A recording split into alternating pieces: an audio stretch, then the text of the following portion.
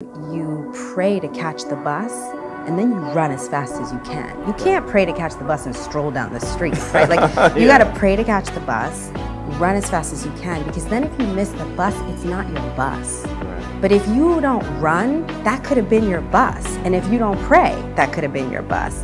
So I try to do both, like all of my work, all of my faith, and then, you know, rejection is God's protection. It's mine or it's not.